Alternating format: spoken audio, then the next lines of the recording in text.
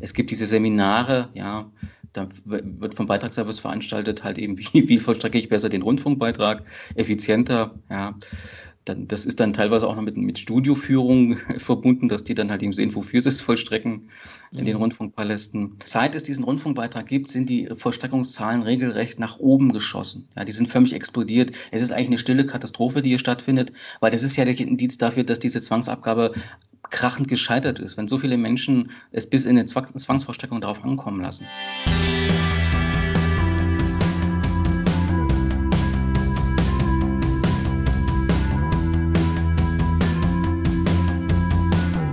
Moin Moin und herzlich willkommen zu einer neuen Folge von Große Freiheit TV.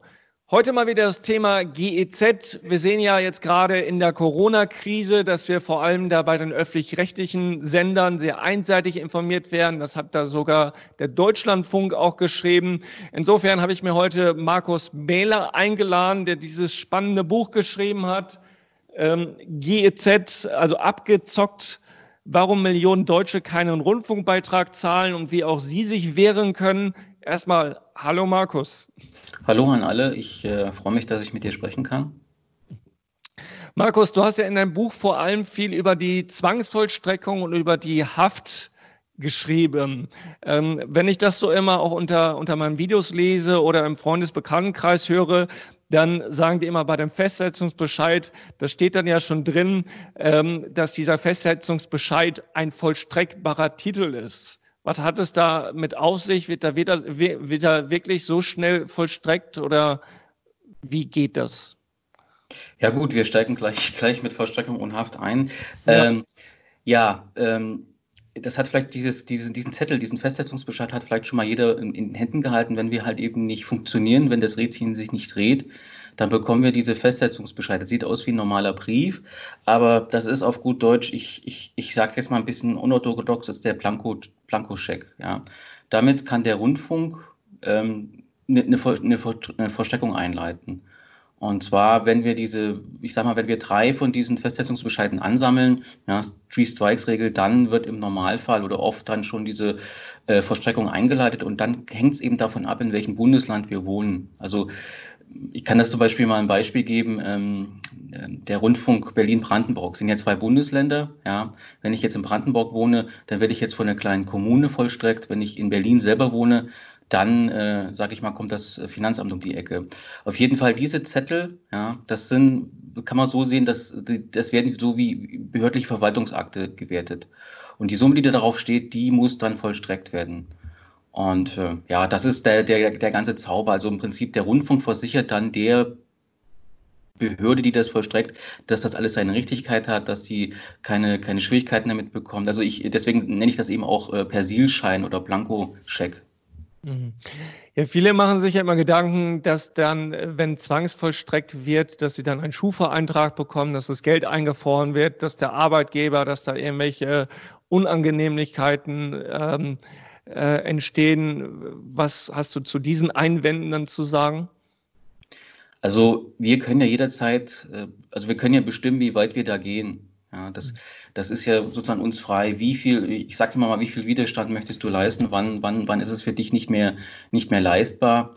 Und äh, alles, was da passiert, wird dir ja vorher angekündigt. Das heißt, die Konsequenzen werden dir dann aufgezeigt und du hast dann auf, ich sag's halt eben mal, du hast jederzeit die Möglichkeit, das zu beenden, ähm, damit es halt eben nicht zu diesen schlimmstmöglichen Konsequenzen kommt. Das, mhm. das vielleicht nochmal zur, zur Beruhigung. Also ich, ich sage ja immer, es wird immer halb so heiß äh, gegessen, wie es gekocht wird.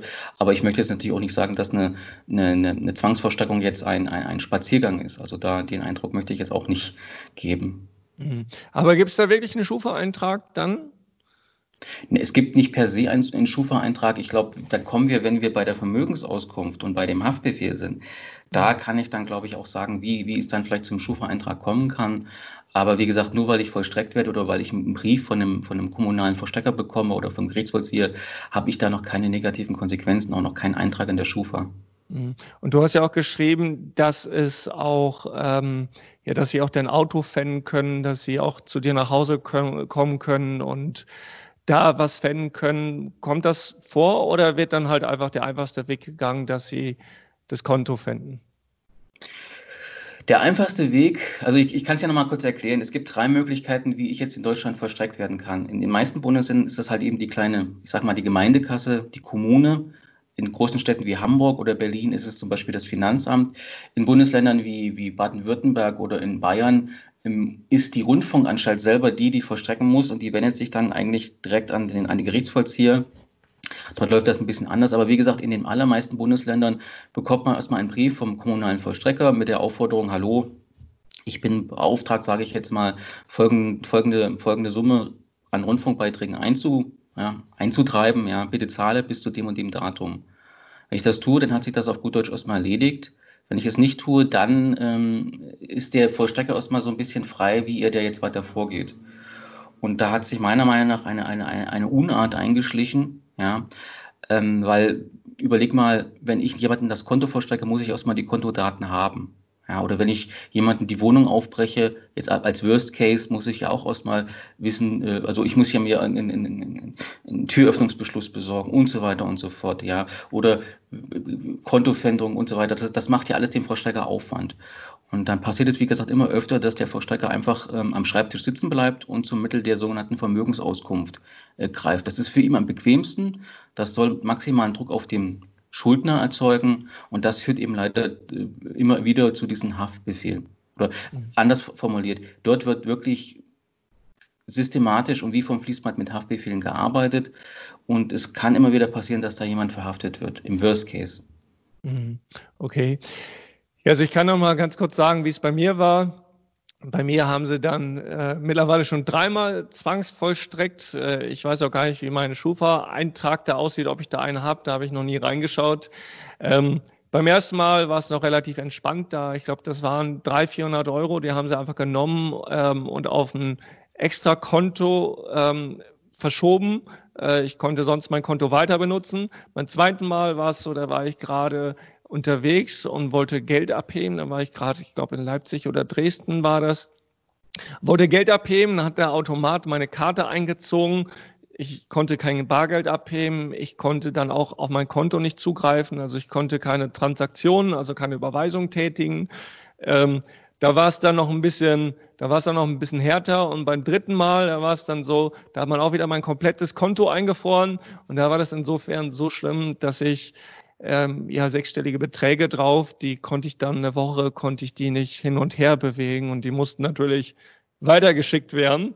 Insofern ist es da auch normal, dass das da, äh, dass, dass die Maßnahmen da immer härter werden oder ist es einfach Zufall?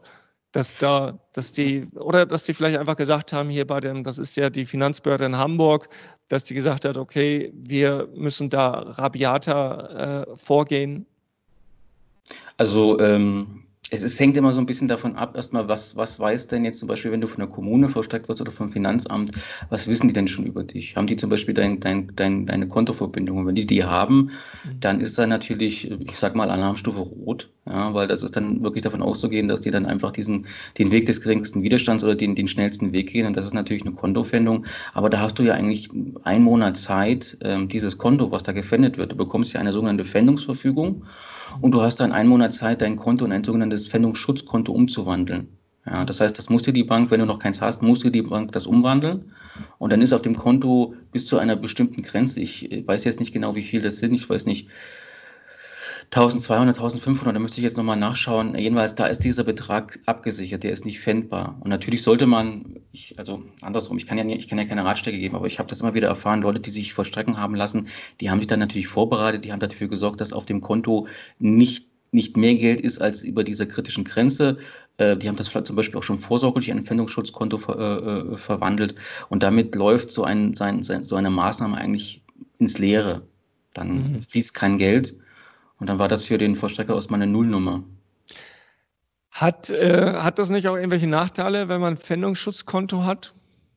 Nein, also ein Pfändungsschutzkonto zu haben, hat erstmal keine Nachteile. Mhm, okay. Ähm, der nächste Schritt ist dann ja auch ähm, die Zwangsvollstreckung. Also bei mir war es auch, ich kann mich noch erinnern, beim ersten Mal, als sie dann mein äh, Konto gefändet haben, ähm, da, da ähm, ja, da habe ich die Dame dann bei der, beim Finanzamt angerufen. Das war auch, die war auch sehr sympathisch tatsächlich. Und ich habe sie dann gefragt, ja, warum fänden Sie denn bei mir, warum stecken Sie mich nicht ins Gefängnis? Ich wäre gerne ins Gefängnis gegangen. Wie, wie kommt man denn jetzt ins Gefängnis? Was hat sie da geantwortet? Sie hat gesagt, ja, ähm, das wollen wir doch nicht oder irgendwas, hat sie gesagt. Ist schon, ist schon drei, vier Jahre her, ich kann mich nicht ganz genau daran erinnern. Ich weiß nur, ich habe sie nachher gegoogelt, das war eine Dame, die da im, ähm, wie heißt es, man, wenn man Jura studiert, da muss man da ja so ein Referendariat machen, man muss dann auch ähm, einmal beim, beim Gericht oder beim Finanzamt da so eine Station machen. Und so eine war das. Die war sogar sehr gut aussehend. Da dachte ich, dass so eine gut aussehende junge Frau äh, solche Sachen macht, dass die da Zwangsvollstreckung anordnet. Ja. Was man, was man vielleicht auch noch wissen muss, ich habe ja schon mal erklärt, das ist von Bundesland zu Bundesland halt eben total unterschiedlich. Ich meine, ich habe ja, ich habe ja viele Fälle in meinem Buch beschrieben und da bekommt man auch einen Einblick, was in den einzelnen Bundesländern geht oder was eben nicht geht. Und ich habe natürlich auch einen Vorstecker drin, der halt eben auch erklärt, äh, dass er das nicht mehr so mitmachen will, mhm. dass er selber, ich sag mal, moralische Bedenken bei der ganzen Sache hat. Und es hängt natürlich immer davon ab, auf welchen Vollstrecker trifft man? Wie ist der gesettet? Ja. Und wie, wie, wie, er selber bestimmt ja, wie, ähm, er hat ja die, eine gewisse Wahl der Mittel. Ja. Und äh, es ist ja auch von Bundesland zu Bundesland äh, anders, ja.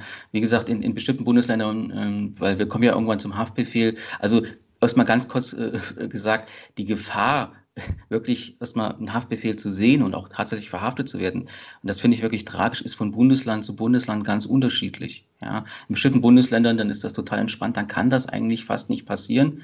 In anderen Bundesländern, ich würde es mal fast sagen, ist es leider ein, ein, eine Grauzone, eine Selbstläufer.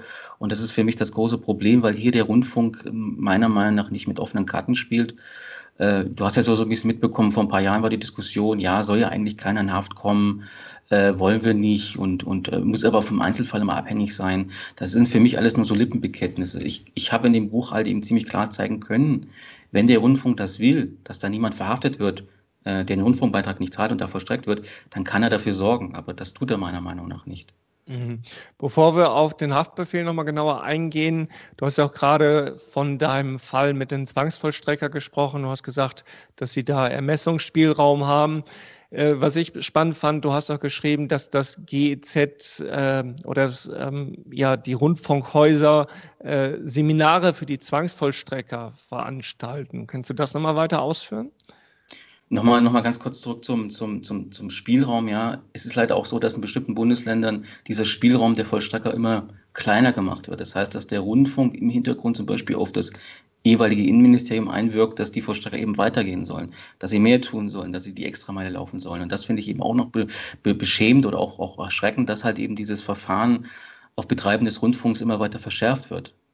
Und ähm, okay, du hast jetzt, jetzt habe ich die andere Frage vergessen. Du wolltest ähm, die, Seminare. Die Seminare, Seminare genau. Hm?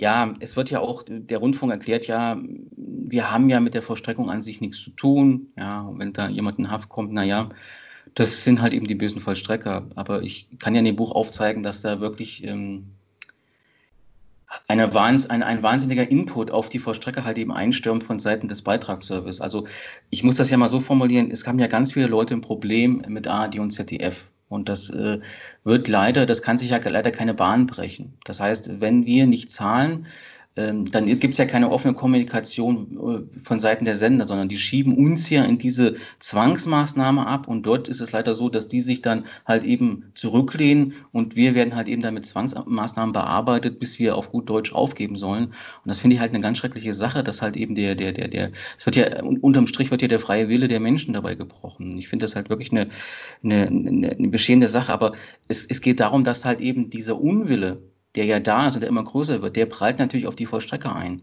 Das heißt, sie sind der Prellbock für den Unmut auf ARD und ZDF, weil der sich gar keine andere Bahn mehr äh, äh, brechen kann. Und dann werden halt eben diese Vollstrecker, ich sag's mal ganz offen, geschult, ja, wie argumentiere ich jetzt gegen den, den Schuldner, ja, wie kann ich ihn entschärfen? Und da bekommen die, bekommen die sozusagen Leitfäden, ja, was muss ich da schreiben? Es gibt diese Seminare, ja, da wird vom Beitragsservice veranstaltet, halt eben, wie, wie vollstrecke ich besser den Rundfunkbeitrag, effizienter, ja.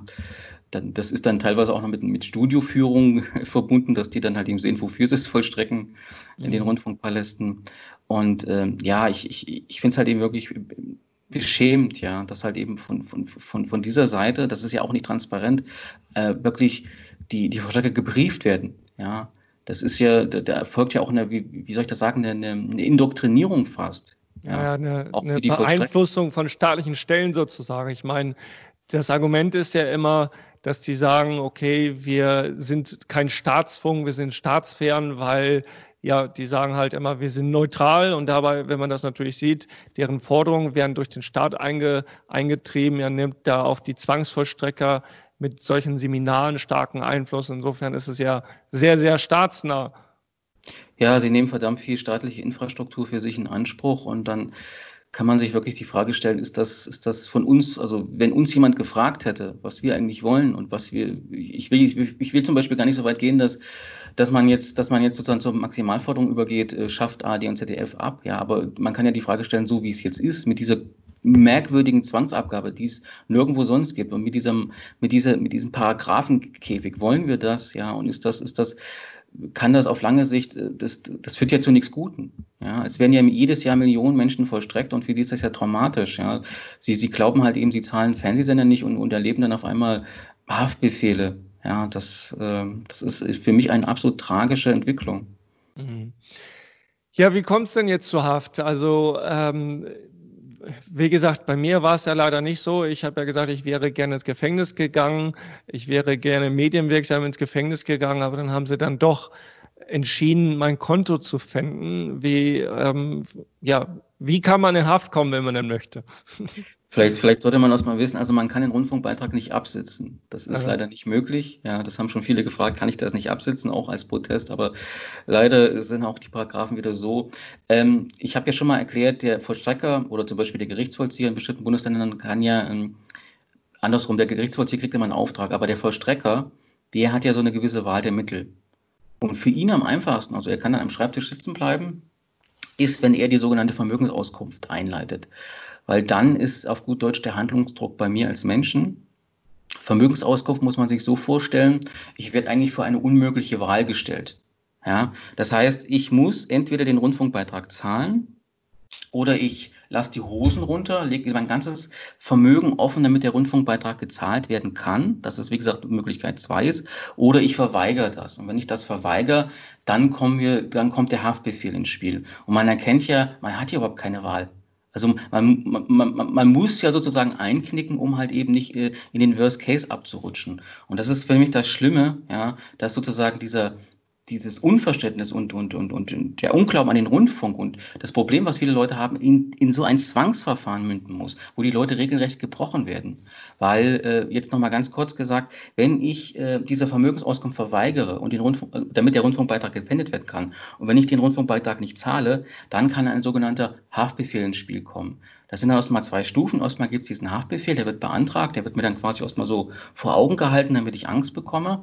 Und dann kann es natürlich wirklich, wenn ich sage, nein, ja, ich will nicht zahlen und ich will auch nicht, dass der Rundfunkbeitrag gefändet wird, dann kann es wirklich zu einer Verhaftung kommen. Und dann, jetzt wird es immer, jetzt wird's immer perfider, ja. Dann kann ich in ein Gefängnis kommen. Ich bin kein normaler Häftling, sondern ich kann bis zu sechs Monate in eine, einer Zelle für mich schmoren, kann jederzeit den roten Knopf drücken. Also sechs Monate lang kann ich weich gekocht werden, muss darüber nachdenken, wäre es denn nicht besser, den Rundfunkbeitrag zu zahlen, wäre es denn nicht besser, jetzt den roten Knopf zu drücken. Und das ist für mich eine absolut, ja, man muss überlegen, hier geht es um eine, eine, eine Abgabe für Fernsehsender und, und oft nur um ein paar hundert Euro und dann äh, wird, werden hier Menschen da im Gefängnis auf gut Deutsch gebrochen. Es ist, es ist ein Mittel, um Menschen zu brechen. Ganz mhm. klipp und klar. Du hast ja auch mehrere Fälle beschrieben in deinem Buch. Ähm, und da ist es ja so, dass äh, in den meisten Fällen ist dann ja, als es dann ein großes Medienecho gab, dann ist da die GZ eingeknickt und die Leute sind relativ schnell aus der Haft gekommen. Oder wie war das da genau? Ja, ich konnte ja eigentlich schon im Fall von Sieglinde Baumer, das war die Frau, die halt eben durch die ganz Deutschland erfahren hat, dass sowas passiert. Die hat 61 Tage im Gefängnis gesessen und da hat sich ja alles in Luft aufgelöst, sobald diese, dieses Medienecho kam. Ja, dann hat der MDR die Notbremse gezogen ich kann im Buch noch aufzeigen, dass es ähm, zumindest Dokumente gibt oder Hinweise, dass der MDR Weil sie haben, sie haben sich ja so hingestellt, wir haben davon, also wir wussten das nicht. Wir, wir, waren, wir waren auch ganz überrascht und das Dokument lässt zumindest den Eindruck aufkommen, dass der MDR, zumindest eine Stelle beim MDR, ich weiß ja nicht, ob das bis nach oben gegangen ist, äh, wirklich schon zwei Tage später von dieser Haft informiert war. So viel dazu. Aber ähm, der Rundfunk hat in diesen ersten Fällen, wo das auf gut Deutsch hochgekocht ist, eingeknickt.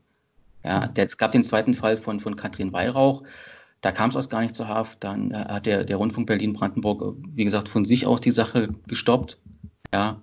Aber man muss halt eben sagen, dass in, in den letzten Jahren, es gab ja immer mehr Fälle, dass sich dieses Spiel von der Öffentlichkeit wieder in die, man muss ja, muss ja sagen, so eine Vollstreckung, jeder wird für sich allein vollstrecken. Das findet sozusagen in einem Bereich statt, wo es keine Öffentlichkeit äh, gibt. Und da, das ist halt eben wirklich, ich sag mal so, der beste Freund eines, eines, eines Beitragsrebellen ist halt eben die Öffentlichkeit. Und man kann halt eben feststellen, dass, ähm, ich, ich möchte jetzt fast sagen, die ARD immer geschickter wird bei solchen Fällen. Das heißt, ähm, dass die Öffentlichkeit äh, eben nicht, nicht, nicht mehr hergestellt wird, dass nicht mehr darüber berichtet wird. Und dann wird es natürlich schwer für den Beitragsrebellen. Ich kann aber auch sagen, es gibt trotzdem, ähm, das ist ja auch Olaf Kretschmann, den ich in meinem Buch begleite, der hat eben erkannt, dass wenn etwas ganz schwierig ist, ja, das ist ja ein total kompliziertes äh, bürokratisches Zwangsverfahren, wenn es ganz äh, schwierig ist, dann macht es doch wieder ganz einfach. Weil, wenn man sich diesen Paragraphen zu dieser Erzwingungshaft anschaut, da steht ja drin, dass der Gläubiger, ja, muss diesen Haftbefehl beantragen und er muss auch das Okay zur Haft geben. Jetzt passiert aber in der Vollstreckung in vielen Bundesländern Folgendes. Diese kommunale Vollstreckungsbehörde, die äh, fingiert sich zum Gläubiger, damit sie auf gut Deutsch besser und äh, äh, widerspruchsloser vollstrecken kann. Und das ist für mich auch eine, eine absolut äh, katastrophale Entwicklung. Die fungiert sich zum Gläubiger und die beantragt diesen Haftbefehl und die gibt teilweise auch das Okay zur Haft. Und dann passiert das wirklich, dass Menschen, äh, die den Rundfunkbeitrag gezahlt haben, in Haft sitzen. Und da sagt Olaf Kretschmann, mach's doch ganz einfach. Der Gläubiger in dieser Sache, wer dich vollstrecken lässt, ist doch die Rundfunkanstalt, ist der MDR, NDR, WDR. Dann frag doch mal den Intendanten, was er dazu sagt, ist er damit einverstanden, dass du hier verhaftet wirst? Gibt er sein Okay dazu? Und dann passiert das in sehr vielen Fällen, dass sich diese Konstellation dann in, in, in, in Luft auflöst. Aber das Tragische ist halt eben, es findet hier keine offene Kommunikation statt. Ja, die ARD könnte doch sagen, wir wollen das nicht. Wir wollen nicht, dass Menschen, die den Rundfunkbeitrag jetzt nicht gezahlt haben, dass die da äh, verhaftet werden in der Vollstreckung. Und die könnten dafür sorgen, die müssten das ja nur in ihre Auftragspapiere reinschreiben.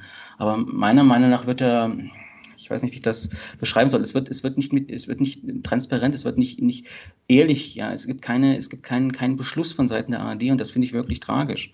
Ja, ich kann ja nicht einerseits sagen, wir wollen, äh, wir finden es nicht gut, dass Menschen in Haft äh, kommen und andererseits tun wir nichts dafür. Andererseits äh, habe ich ja den Eindruck, dass die das gar nicht, das gar nicht so, so verkehrt finden, dass in bestimmten Bundesländern so eine Grauzone entstehen kann, dass die Vollstrecker walten und äh, schalten und walten können, wie sie denn wollen. Und wenn dann jemand in Haft kommt, ja, dann ist das auf gut Deutsch dein, dein Problem. Ja. Und Olaf Kretschmann sagt, mach's einfach, bezieh die Rundfunkanstalt in dieses Haftspiel mit ein.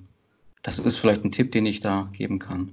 Wer ist dieser Olaf, den du jetzt schon das zweite Mal erwähnt hast? Für diejenigen, Olaf, die ihn nicht kennen. Olaf Kretschmann ist einer der bekannteren, ich sag mal, GZ-Rebellen, so ist ja dieser Slangbegriff. Und ähm, er selber, er möchte halt eben, dass es wieder eine Gewissensfreiheit beim, bei, gibt. Oder du weißt ja, bis 2012 konnte man sagen, ich nutze keinen Rundfunk, ich habe kein Gerät, ich, kon, ich kann mich abmelden. Und das hat ja ganz viel Druck, sag ich mal, vom Kessel genommen. Und das ist ja 2013 mit dieser kruden Zwangsabgabe namens Rundfunkbeitrag ja vollkommen geschlossen worden. Das heißt, äh, es ist von Anfang bis Ende Zwang. Und er kämpft halt eben dafür, dass es wieder eine, eine, eine, eine, eine Wahl geben kann beim Rundfunkbeitrag. Aber er hat eben auch erkannt, da kommen ja inzwischen Menschen ins Gefängnis. Und das kann doch auch der Rundfunk nicht wollen. Und deswegen hat er sich 2016 gesagt, ich kümmere mich darum, dass Menschen, die wirklich von der Haft bedroht werden, äh, dass das nicht passiert. Ich äh, ich, ich helfe mit einem Brief an die Rundfunkanstalt zum Beispiel, ich, ich, ich, äh, ich, ich, ich klinge mich da ein. Und das ist halt eben der Mann, der so schon relativ viele Haftfälle verhindert hat, ja, der vielleicht auch mehr weiß über die Haftfälle als die AD selbst, das muss man sich auch mal vorstellen. Also er ist halt eben jemand, der, das ist ihm auch noch nicht so bekannt, der sich wirklich sehr stark in diese, diese Haftgeschichte der ARD involviert. Das mhm. eben, ich, ich begleite ihn da im Buch und er hat mir sehr viel Informationen gegeben und er hat mir ja, ich sag mal so ein bisschen die Augen geöffnet, was hier eigentlich wirklich hinter den Kulissen passiert. Mhm. Also das ist Olaf Kretschmann. Mhm.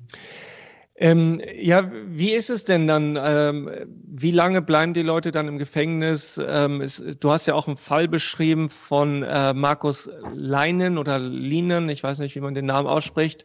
Da war es ja so, dass er dann als Reichsbürger tituliert wurde. Er wurde ins Gefängnis gesetzt obwohl seine Frau schwanger war. Und ich meine, da ist natürlich klar, als, als, als Vater, als werdender Vater möchte man natürlich auch die Geburt miterleben. Das ist natürlich auch, ja, das ist natürlich Druckmittel ohne Ende.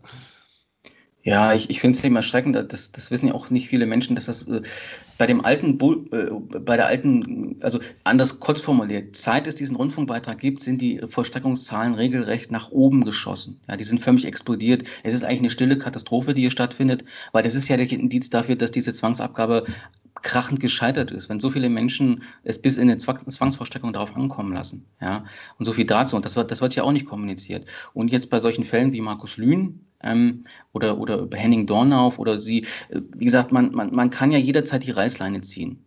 Ja, es gibt ganz viele Leute, die sagen, ich, ich lasse es drauf ankommen, ich gehe so weit, wie ich, wie ich, wie ich irgendwie kann. Und wenn man dann, ich habe es ja schon mal gesagt, diese Haft dient ja nicht dazu, dass du den Rundfunkbeitrag absitzt und die dient auch nicht formal dazu, um dich zu bestrafen, weil du den, äh, den Rundfunkbeitrag nicht gezahlt hast, sondern sie soll einfach nur die Zahlung des Rundfunkbeitrags erzwingen.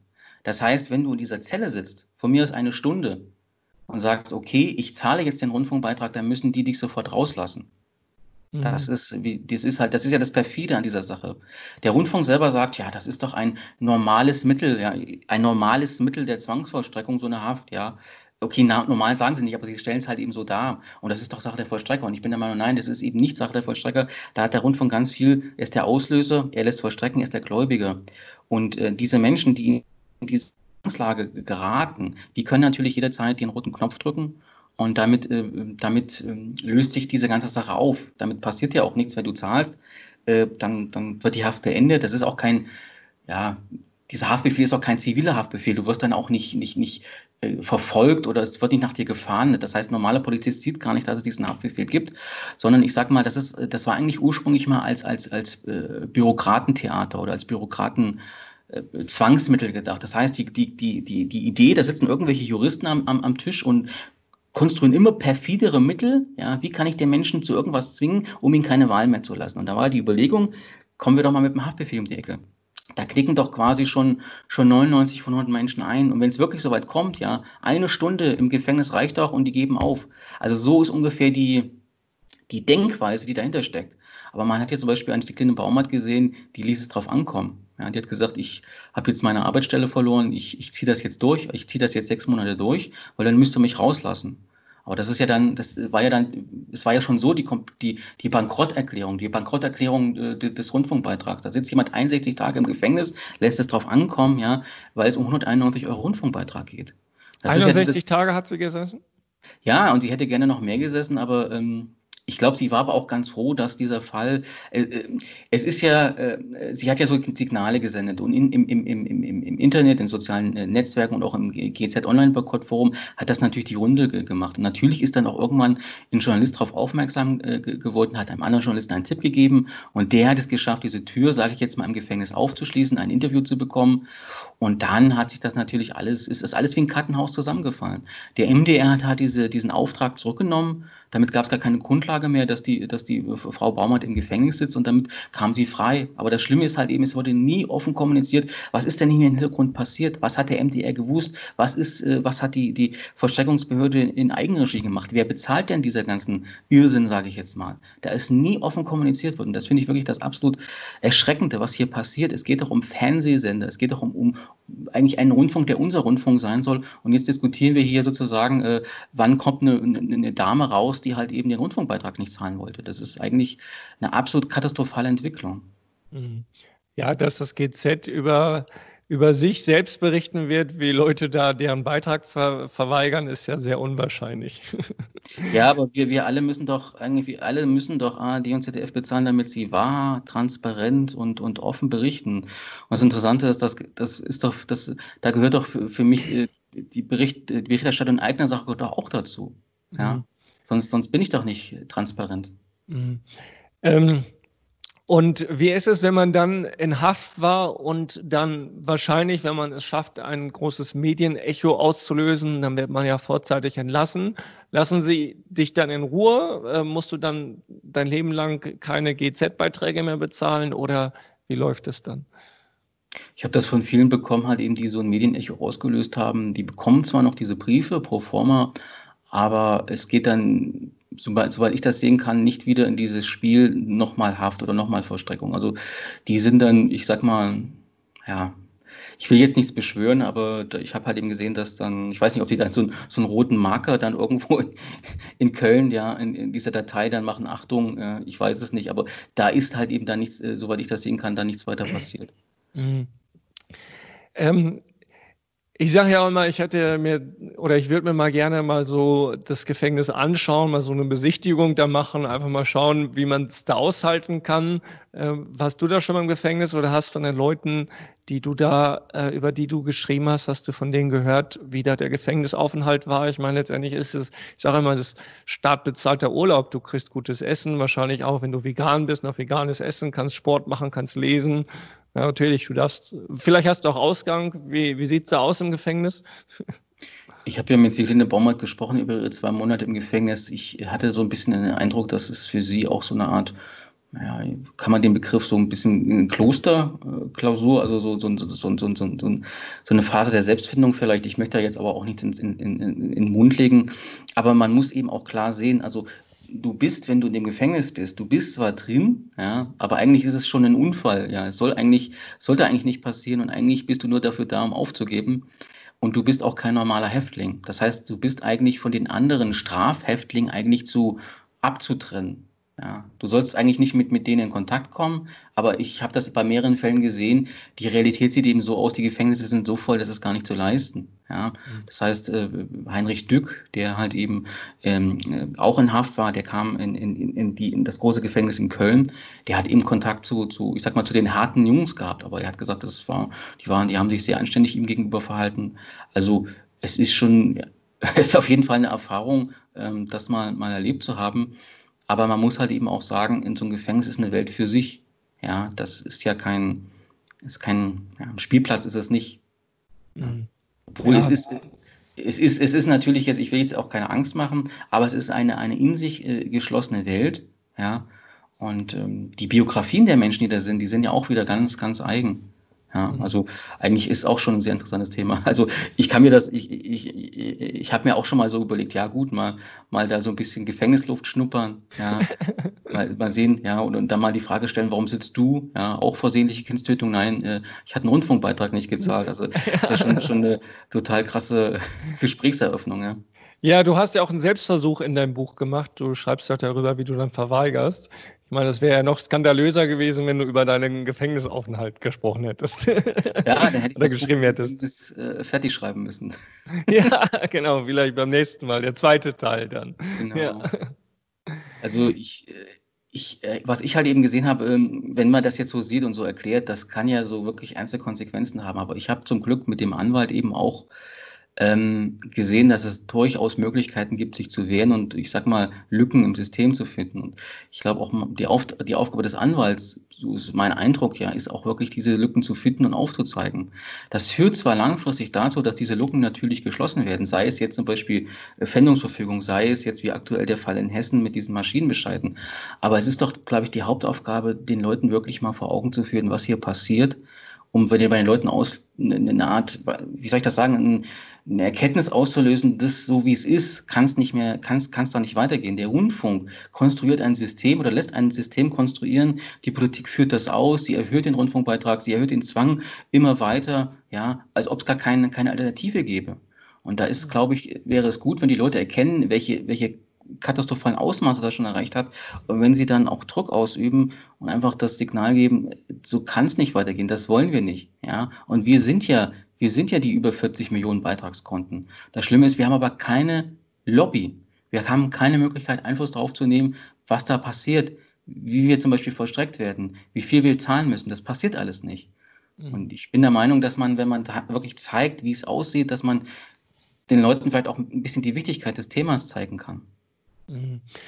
Ähm, du hast jetzt gerade zwei Sachen genannt. Einmal den Fall in Hessen und den anderen Fall. Kannst du das nochmal weiter ausführen, wie man, wie man dann da rauskommen kann, wie man um den Rundfunkbeitrag, ja, wie man den umgehen kann? Umgehen ist jetzt, ähm, also ich habe jetzt zum Beispiel in dem Buch, äh, habe ich eben auch beschrieben, wie Menschen sich äh, auf gut Deutsch, wie sie vom Radar verschwinden. Ähm, ja, Möglichkeit ist, eins ist zum Beispiel, sich ins Ausland abzumelden, aber das ist ja alles so, so ein unehrliches Spiel, ja. Mhm. Und das kann ich jetzt auch schlecht ähm, zwischen Tür und Angel erklären, weil da muss man sich die Dokumente anschauen, was haben da Menschen gemacht, um da rauszukommen und welche Konsequenzen konnte das haben oder welchen Erfolg konnte das haben. Das kann ich jetzt schlecht erklären, aber dieser Fall in Hessen, der ist halt eben wirklich interessant, weil ich dann, daran kann man wirklich wunderbar erkennen, welche Ausmaße dieses System halt eben hat. Kurz zur Erklärung, ähm, seit Jahren erlässt der, der, der Beitragsservice schon vollautomatisiert durch Maschinen Bescheide. Da guckt kein Mensch mehr drüber, ob ich, ob ich äh, auf gut Deutsch säumig bin, sondern irgendwelche Maschinen rechnen das aus. Und das habe ich ja schon mal erklärt, diese sogenannten Festsetzungsbescheide, die sind ja die Grundlage, dass irgendwann Menschen vollstreckt werden. Und da passieren ja schlimme Sachen, da, da werden ja ganze, teilweise Existenzen ruiniert. Und dieses vollautomatische Erlassen durch Maschinen, ja, das äh, hat, wie, wie soll ich das sagen, 2018 hat die ARD die Politik darauf hingewiesen, es könnte hier zu Rechtsstreitigkeiten kommen, weil es noch keinen eindeutigen Paragraphen gibt, der das dem Rundfunk erlaubt. Dieser Paragraph kam jetzt im Juni 2020. Ja, aber man kann sich die Frage stellen, dann wurden ja schon seit Jahren Bescheide ohne diesen Paragraphen erlassen. Das ist ja ein Problem. Das ist ja eine, eine, eine rechtliche, ich sag mal, eine Lücke. Darauf hat der Anwalt in Hessen hingewiesen. Er hat dann sozusagen zwei sogenannte Festsetzungsbescheide angegriffen und dann ist Folgendes passiert. Der Hessische Rundfunk hat erstmal, er konnte nichts dazu sagen. Er hat keinen Kommentar dazu abgegeben.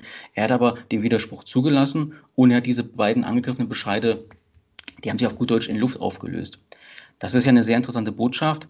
Aber was ich eben auch jetzt hier wieder tragisch finde, zum Beispiel seit Juni 2020 gibt es ja diesen Paragraphen. Das heißt, der Rundfunk darf jetzt durch Maschinen seine Bescheide erlassen. Aber was ist denn mit, mit den Millionen Bescheiden, die jetzt sozusagen gerade vollstreckt werden? Es werden Millionen Bescheide aus den Jahren 2017, 18 und 19 vollstreckt. Und dann darf man ja durchaus die Frage stellen, ja, da gab es den Paragraphen aber noch nicht. Aber mhm. dann ist jetzt aber auch diese Widerspruchsfrist von einem Monat ist ja schon längst abgelaufen. Und hier wäre es jetzt, äh, ich, ich, ich, ich sage das jetzt nochmal theoretisch, was, da müssten jetzt Menschen, ja, die da vollstreckt werden, sich da mit dieser Argumentation wehren. Und es braucht es Richter, die halt eben äh, sagen, okay, diese Widerspruchsfrist ist zwar abgelaufen, aber ähm, das ist trotzdem ungerecht, wenn, wenn der jetzt einfach vollstreckt wird. Ja, es gibt ja, ich habe das, glaube ich, in einem anderen Video schon mal erzählt, es gibt einen öffentlich-rechtlichen Unterlassungsanspruch ja, das heißt, ein Richter kann sagen, ähm, die, die, die, hier, hier ist die Vollstreckung dieses, dieses Verwaltungsaktes halt eben zu stoppen. Also es ist wirklich interessant, was da vor Gericht passieren kann, aber de facto ist, es sind Maschinenbescheide und der der Paragraph 10a im Rundfunkbeitrag Staatsvertrag, der das erlaubt, der Bescheid aus der Maschine erlaubt, der gilt eben aus der Juni 2020. Und ich finde es unglaublich spannend, was die Menschen daraus machen und was auch vor allem, was vor Gerichten dann passiert. Mhm. Und ähm, du hattest noch nach der anderen Sache gefragt, ja, ähm, da ging es um eine Pfändung. Ich wurde ja vom, also ich in, hier in Baden-Württemberg wurde ja auch mit einer Vermögensauskunft halt eben konfrontiert und dann ging es auch um den Haftbefehl. Dann habe ich zum Beispiel erfahren, dass hier in Baden-Württemberg müsste der Südwestrundfunk diesen Haftbefehl selbst, ich sag mal, zustimmen. Hat er natürlich nicht gemacht. Und dann ähm, ging das natürlich irgendwann über zur Pfändung. Und da hatte ich das äh, große Glück, dass der Anwalt äh, der eben auch den, den Erfolg, der Thorsten Bölk, der den Erfolg in Hessen erzielt hat, der halt eben diese Fendungsverfügung auf gut Deutsch, ich sag mal, auseinandergenommen hat. Ja, da hat sich die Fendung äh, bei mir eben auch in, in, Luft aufgelöst. Ja, die wurde dann zurückgenommen, aber eben aus vor Gericht. Das ist eben das Tragische. Das heißt, der Rundfunk an sich hat, ich, ich habe ja alle Argumente, so wie sie waren, vom Anwalt schon reingeschrieben. Er hätte ja von sich aus das einstellen können, aber nein, er ließ es eben auf einen Prozess ankommen und dann vor Gericht hat er dann ähnlich wie in Hessen einen Rückzieher gemacht. Das ist zum Beispiel auch eine sehr äh, bedenkliche Entwicklung, wie ich finde. Es ist offenbar so, dass der Rundfunk Urteile, wenn es mal zu Ungunsten ausgeht, ja, also wenn es mal nicht zu seinen Gunsten läuft, dann äh, streicht er vor Gericht die Segel, ja, er, er, er, lässt den Widerspruch zu, irgendein Bescheid löst sich dann auf gut deutschen Luft auf, aber es gibt kein Urteil für die anderen Menschen, dass sich ja da jemand drauf berufen kann. Also ich habe wirklich den Eindruck, dass das System, ja, hier wird ein System geschützt, ja, mhm. und das ist ja, und es ist ja so, dass ähm, Ein bekanntes Urteil ist ja das vom Landgericht in Tübingen. Das wird ja, wenn ich das richtig erinnere, da hast du auch drüber geschrieben, das wird dann ja vom, ähm, vom obersten Gericht, ich glaube, war das der Bundesgerichtshof oder Bundesverwaltungsgericht, wurde das dann aufgehoben. Das ist ja, das ist ja auch meine Erfahrung, man geht dann irgendwie auf rechtlichen Weg dagegen vor, aber wie Hans-Hermann Hoppe, der sagt ja immer so schön, der Staat ist letztendlich, der ist Letztentscheider bei allen Konflikten, auch die Konflikte, die ihn selbst betreffen. Und dementsprechend kann man natürlich, wenn man den Staat verklagt, was ja letztendlich die Rundfunkanstalten sind, das ist eigentlich, ja, ist tatsächlich der Staatsfunk. Ähm, die sind auf Linie mit dem Staat, die sind der verlängerte Arm vom Staat, die äh, Schulen, die Zwangsvollstrecker. Insofern, wenn man die verklagt, dann hat man meistens eigentlich nicht so die besten Aussichten. Was ich vielleicht noch sagen muss, ähm ähm, nur mal so ein Beispiel, der Rundfunkbeitrag Staatsvertrag. Das ist leider ein Dokument, äh, was halt eben den, den, Rundfunk maximal begünstigt, aber eben eben von dem Ministerpräsidenten geschaffen wird. Und jetzt muss man sich folgende Frage stellen. Wenn ich jetzt sozusagen gegen den Rundfunkbeitrag vorgehe, sei es jetzt seine Vollstreckung oder so, dann findet das immer vor sogenannten Verwaltungsgerichten statt. Und die, der Dienstherr von Verwaltungsgerichten ist ja natürlich das jeweilige Bundesland, also der Staat. Das muss man natürlich immer wissen. Ja, natürlich ist ein Richter nicht weisungsgeboten, der ist unabhängig. Es kommt also aber, es kommt immer darauf an, dass es Menschen gibt, die Nein sagen. Ja, ähm, zum Beispiel ein Anwalt, der das nicht einfach hinnimmt, ja, oder eben auch ein Richter wie der Richter Sprissler in Tübingen, der sich dann auch wirklich reingekniet hat und versucht hat, das für sich aufzudröseln. Hier muss man aber auch wissen, dass er, ähm, Tübingen liegt ja in Baden-Württemberg, das gehört zum Sendebereich des Südwestrundfunks und der Justiziar des Südwestrundfunks ist Hermann Eicher und der ist sozusagen, ich würde sagen, die graue Eminenz des Rundfunkbeitrags. Und äh, da ist Folgendes passiert, diese Beschlüsse, es sind keine Urteile in Tübingen, aber diese Beschlüsse sind dann eben auf Betreiben des SWR immer wieder von der höheren Instanz, ähm, ich sag mal, kassiert worden. Ja, mhm. von höheren Instanzen einkassiert worden. Und das ist eben wirklich das Tragische. Ähm, da gibt es mal einen Richter, der sozusagen wirklich mal aus der Perspektive der Menschen denkt und nicht aus der Perspektive des Systems. Ja, das System muss funktionieren. Das System muss glückenlos sein. Die Menschen müssen gezwungen werden. Das ist das Schlimme. Das ist, da darf man sich ja die Frage stellen, ist es denn die Aufgabe eines Richters, äh, ähm, im Sinne des Systems zu, zu, zu denken oder denk, äh, denk, äh, wie soll ich das sagen? Also es ist halt eben, es ist, es, ist, es ist fast wie eine Mauer. Ja, also der Rundfunk äh, sorgt dafür, dass es im ganzen Land Urteile gibt und dann müssen sich andere Richter darauf beziehen und sagen, das ist ja da schon entschieden worden und dann hat man da mit dem Argument verloren und so weiter und so fort. Und ich bin der Meinung, das sind doch unabhängige, nicht weisungsgebundene Menschen, ja. Und äh, trotzdem passiert das, dass, äh, dass, dass, dass so viele Klagen abgebügelt werden. Ich finde das auch, das ist auch wieder so eine bedenkliche Entwicklung. Ja.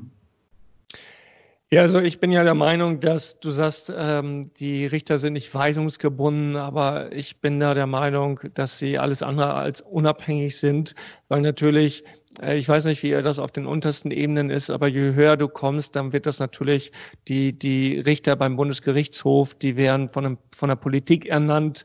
Da mhm. musst du mhm. dann nur mal äh, da, da musst du nur mal auffallen, dass du staatskritisch bist und äh, mhm. dementsprechend auch mhm. Urteile fällst und schon wirst du irgendwie zwangsversetzt oder nicht mehr befördert.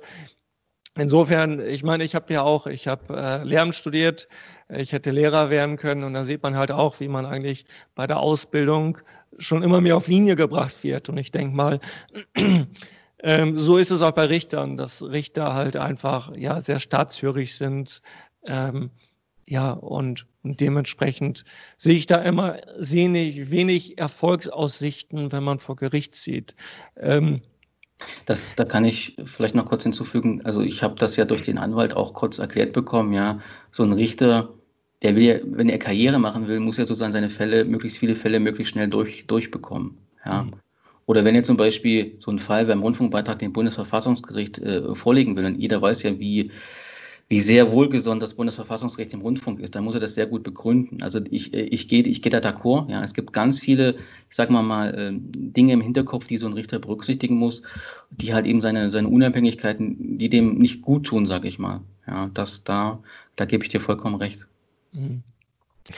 Ja, wie sieht's denn aus? Was würdest du empfehlen, wenn man, äh, wenn man da einfach der, G, der GZ Steine in den Weg legen will? Also ich sage ja immer, ähm, ja, am besten ist es halt immer verweigern, immer ein bisschen Sand ins Getriebe streuen, damit die möglichst viel Arbeit haben, damit auch die ganzen äh, Kommunen damit belastet werden mit ähm, Zwangsvollstreckungsbescheiden und so. Und da, du hast ja auch ausgeführt, dass diese Zwangsvollstreckung, äh, wenn das dann an die Kommunen geht, dass das eigentlich für diesen Zusatzgeschäft ist. Ähm, ja, ähm, oder was würdest du empfehlen? Wie kann man am besten vorgehen? Es ist, äh, es ist natürlich ein Zusatzgeschäft, es ist aber auch eine unglaubliche Belastung für die Kommunen. Also der, der Rundfunkbeitrag, so wie ich das sehe, ist inzwischen der größte Einzelposten, was solche äh, Vollstreckungen angeht. Ja, jedes Jahr bis zu anderthalb Millionen Mal muss da vollstreckt werden. Das ist eine riesige Belastung. Vor einigen Jahren wurde, wurden, wurden dann, mussten zusätzliche Stellen also zusätzliche Leute eingestellt und natürlich auch bezahlt werden, extra wegen der Verstärkung des Rundfunkbeitrags. Das muss man sich mal vorstellen. Die Politik äh, kommt dann natürlich auch immer mehr in Rechtfertigungsnöte. Ja, sie müssen jetzt schon wieder eine Erhöhung äh, ähm, ähm, durchboxen, sage ich jetzt mal. Oder äh, wenn man aber auch sieht, welche, welche, welche Belastung, es wird ja zu einer immer größeren Belastung, ja, sei es die, die, kommunale Verwaltung, sei es, äh, sei es sozusagen die, die, die finanzielle Last für alle Menschen. Und wenn wirklich jeder inzwischen erkennt, dass wir hier an, an, einem, an einem toten Punkt angekommen sind, ja, der Politik äh, äh, bleibt ja inzwischen nur noch übrig, ja, ja, wir winken jetzt die Erhöhung durch. Ja, es gibt ja gar keine Alternative. Es passiert ja nicht, dass, äh, dass sozusagen jemand wirklich die ARD ähm, wirklich zu einem, einem, einem massiven Sparen äh, zwingen kann. Das, das ist ja irgendwie, das ist ja außerhalb der, der, der, der Denk, äh, des Denkhorizonts. Das muss man sich mal vorstellen. Und deswegen ist es ganz wichtig, dass die Leute halt eben das nicht, nicht auf sich beruhen lassen, dass sie wirklich zeigen, dass sie ein Problem haben. Auch wenn es im Einzelfall halt eben immer nicht, nicht, nicht wirklich angenehm ist. Aber ähm, im Großen sieht man halt eben, wenn der Rundfunkbeitrag immer mehr Probleme verursacht, dann kann es doch nicht so weitergehen. Und das ist sozusagen die Hoffnung, die ich habe, dass es irgendwann auch äh, bei der Politik klar wird, was wir hier tun, ist, ist sozusagen gegen, gegen den Willen der Menschen. Und das kann ja auf Dauer nicht funktionieren. Ja. Ja, was gibt es denn für Möglichkeiten? Was würdest du denn jetzt jemandem raten? Was ist das beste Vorgehen, um die GZ zu verweigern? Ich kann jetzt natürlich keinem raten, weil ich bin ja kein, kein Anwalt, aber ich habe dir ja schon mal erklärt, äh, es gibt jetzt äh, aktuell diesen Fall in Hessen, ja, wo, wo, wo, wo wie gesagt, de facto werden hier gerade äh, Rundfunk, also Festsetzungsbescheide verstreckt 2017, 18, 19 Millionen Stück, die halt eben noch ohne diesen Paragraphen erlassen wurden. Ähm, dann hatte ich ja, glaube ich, schon mal erklärt, es gibt halt eben auch viele Menschen, die halt ähm, aus, diesem, aus, diesem, aus diesem Radar dieses Zwangssystems verschwinden. Ja, das ist in dem Buch mit diesem, ich habe mir das ja auch mal erklären lassen oder zum Beispiel Fälle mal, mal, mal angeschaut, wie das genau funktioniert, vom Radar zu verschwinden. Ja, aber ich, ich will jetzt natürlich keinen kein Menschen zu irgendwas raten, das kann ich ja nicht, sonst bekomme ich hier ein bisschen Probleme. Aber ich, ich bin eigentlich äh, gute Dinge, ja, weil die Leute suchen ja selber aktiv nach, nach, ja, das ist ja das Lustige, man, man sagt, man, man erhöht den Zwang immer weiter und dann geben die Menschen auf. Nein, die Menschen geben natürlich nicht auf, ja, sondern es geht weiter. Ich meine, die, diese, dieses Problem, was die Menschen mit ARD und ZDF haben, das löst sich doch nicht nur dadurch auf, dass sie, dass sie sozusagen immer schärfer vollstreckt werden. Ja, das, das erhöht ja den, den, ich meine, ich glaube, ARD und ZDF brauchen sich ja wirklich nicht wundern, warum inzwischen wirklich diese, diese massi ein massiver Unwille da ist. Ja, sie, sie können, da können sie sich auch beim Rundfunkbeitrag bedanken. Ja. Und äh, wie gesagt, ich kann jetzt nicht, nichts raten, aber ich kann einfach sagen, ich bleibe am Ball. Ich, äh, ich werde immer wieder aufzeigen, was sich hier gerade tut. Äh, wenn ein Anwalt zum Beispiel wieder eine Lücke gefunden hat oder wenn Leute sozusagen aus dem System verschwunden sind, dann möchte ich natürlich gerne darüber berichten. Ja, ich möchte das gerne am Leben, am Leben halten. Ja, jetzt ist natürlich die Frage, wie geht's weiter mit dem deutschen Rundfunkbeitrag? Wir haben ja auch in der Schweiz gesehen, da hat man über die BILAG abgestimmt und das habe ich in deinem Buch, ähm, das war mir auch neu, dass da vor der Abstimmung hat die BILAG ihre Gebühr um 20 Prozent gesenkt. Wir sehen auch in Dänemark, das war mir auch neu, da hat man das Budget um ein Fünftel gekürzt, ähm, sogar ja um ähm, ja sogar noch mehr. Ähm, und in England, ne Quatsch, dann sind ja auch 20 Prozent. Äh, in England, da sagt Johnson, der sagt jetzt auch, die Rundfunkgebühren, die werden in Frage gestellt. Insofern, wann ist da Deutschland dran? Siehst du da irgendwie eine Bewegung? Siehst du da irgendwie, ähm, ja, wie ist da deine Einschätzung? Es kommt, wie hast du ja schön erklärt, überall in, in Europa kommt es zur Reform. Das heißt, dieses Konzept Rundfunkanstalt ist ja ein uraltes Ding. Es ist ja inzwischen vollkommen aus der Zeit gefallen. Das ist ja aus den 1950, 1950 und 60ern. Ja, und muss man überlegen, wir sind 2020. Und äh, wie gesagt, überall kommt es zu diesen Reformen, aber ich habe den Eindruck, dass die ARD Das ja, ich, ich kann mich noch an Tom Bohrer erinnern, ja, der dann 2018, wo diese, Umf diese, diese Volksabstimmung in der Schweiz war, äh, wo er dann sozusagen etwas hoffnungsfroh verkündet hat, ja, das ist ja in Deutschland jetzt äh, nicht zur Debatte, ist an uns vorbeigegangen. Ich glaube, ich glaube, hier kommt noch, hier, bei uns kommt noch der, der, der, der große ja, der große, ich sag mal, die, die Leute, den Leuten ist doch klar, hallo, überall in, in, in, kommt es zu, zu Veränderungen, nur hier in Deutschland nicht. Und äh, das kann doch auf Dauer nicht, nicht, nicht gut sein. Also ich glaube, in den nächsten Jahren, und vielleicht kann ich da auch einen kleinen Beitrag dazu leisten, wird es halt eben auch wirklich zu politischen Reformen kommen müssen, weil das ist ja auch der Politik klar, dass es so, wie es jetzt ist, das kann es ja nicht weitergehen. Der Rundfunk an sich kann man sich die Frage stellen, welche gesellschaftliche Funktion erfüllt er noch? Die ist ja auch total schwammig formuliert. Ja, welche, welche Aufgabe hat er noch? Was gibt er den Menschen noch und was wollen die Menschen? Und es kann ja nicht, nicht, nicht Aufgabe der Menschen sein, ein immer teureres Rundfunkkonstrukt zu, zu, zu finanzieren, was immer unübersichtlicher ist und was sich immer mehr auf Zwang verlassen muss. Ja, mhm. die, diese Sender verstecken sich ja hinter dem Zwang. Und ich kann mir vorstellen, dass in den nächsten Jahren ähm, auch, auch von Seiten der Politik klar sein muss, dass es hier zu Reformen kommt. Aber das ist jetzt die Frage, äh, wie, wie, wie weit wird dann, wird dann die Politik gehen? Und da bin ich der Meinung, dann liegt es an uns, ja, weil wir müssen da wirklich auch ein, ein, ich sag mal so, wir müssen einen Handlungsdruck erzeugen. Mhm. Ich bin der Meinung, es ist längst überfällig. Es ist längst überfällig. Ja. Und deswegen bin ich der Meinung, sollte jeder im Kleinen anfangen, da möglichst viel Sand ins Getriebe streuen. Und man sieht ja auch, je mehr die zu tun haben, desto mehr beschweren sich die Kommunen, desto mehr tut sich da, desto mehr wird da der Beitrag erhöht werden und desto mehr, ja, es kommen immer mehr Leute dazu, die damit unzufrieden sind. Insofern, ja, erstmal danke für das Interview, Markus. Hat mich gefreut. Okay, es und hat mir sehr viel Spaß gemacht. Okay. Und nochmal an die Zuschauer zu Hause, also hier das Buch abgezockt, kann ich nur empfehlen. Wie auch schon gesagt, ich habe da viele neue Sachen rausgelernt. Ähm, ich habe das auch unten verlinkt. Insofern vielen Dank fürs Anschauen und wir sehen uns beim nächsten Mal. Bis dann. Ciao, ciao. Danke.